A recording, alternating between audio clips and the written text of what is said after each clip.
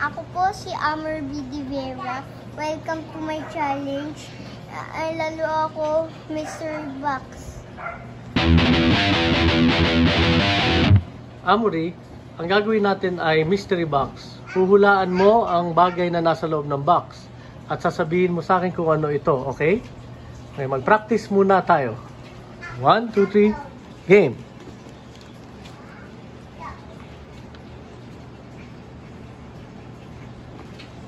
Worm. Hoy! Worm! Nahulaan ni Amory. Pakita po natin ano hinawakan niya. Ang worm ba yung paborito mo, Amory, na insekto? Opo. Okay, tumuloy na tayo sa aktibidad. Amory, hulaan ang unang bagay. Go! Bilog. Ano yan? Bola. Okay, very good. Ilagay mo nga kung saan saan naangkop ang bola. Ang bilog. Tama. Hulaan ang susunod na bagay.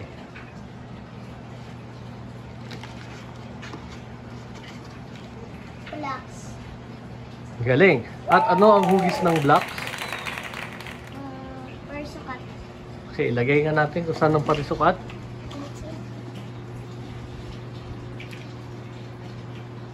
Galing. Tama. Amory, hulaan ang susunod na bagay. Happy Santa Claus. Very good. Ilabas mo at tingnan ko anong hugis. Anong hugis ng hat ni Santa Claus? Tatsulok. Tama, ang galing. Ilagay mo nga dito kung saan ang tatsulok dito, Amory. Asan ang tatsulok dyan sa dalawa? Very good. Tama. Amory, hulaan ang huling bagay. Notebook. Ang galing. Pwede mo ilabas at hula at tingnan at sabihin sa akin ano ang hugis. Parba. Parihaba. Tama. Asan ang parihaba?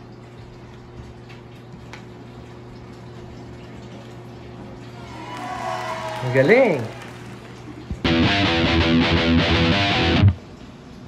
Amory, ang susunod na bagay ay hulaan natin ng mga bagay ayon sa gamit. May dalawa tayong kategorya. Una ang bagay na pangkain, ang isa ay bagay na pang-aral. Ilalagay mo dyan kung ano ang bagay na mahuhulaan mo.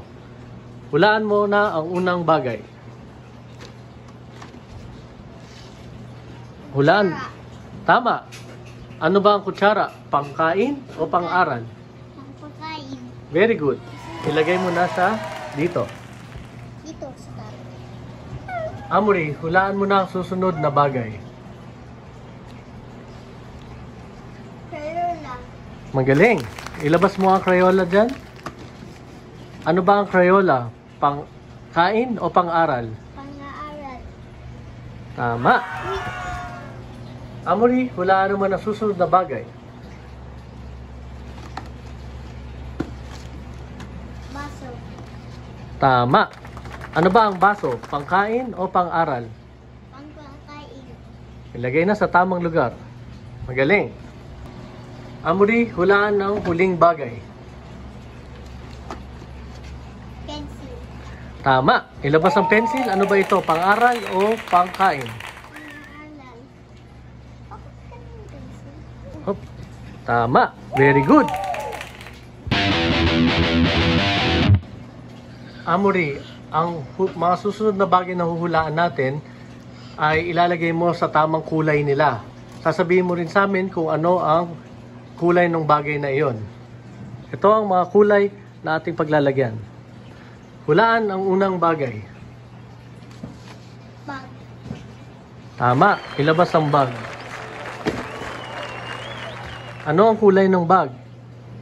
Asul. Okay, tama. Amory, hulaan ang susunod na bagay.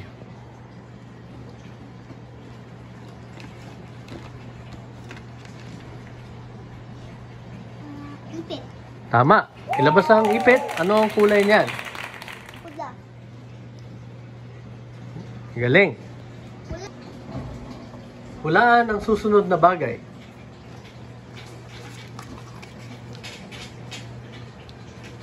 Dahon. Ang galing. Ano ang kulay ng dahon? Verde. Asan ang verde dyan? Tama. Amory, hulaan ang huling bagay. Bote. Ang galing. Tama. Kaninong bote yan? Ataris. Okay, sa nakakabata mong kapatid. At anong kulay ng bote ni Ataris? Dilaw. Asan ang dilaw? Tama. Ang galing ni Amory. Palakpakan mo ang iyong sarili.